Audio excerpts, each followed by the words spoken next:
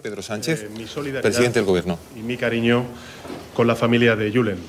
Hemos eh, seguido de cerca desde el principio cada paso hasta llegar a él y compartimos eh, con infinita tristeza el desenlace de esta tragedia. Quiero también subrayar el trabajo y la profesionalidad de todos los equipos desplegados para lograr su rescate.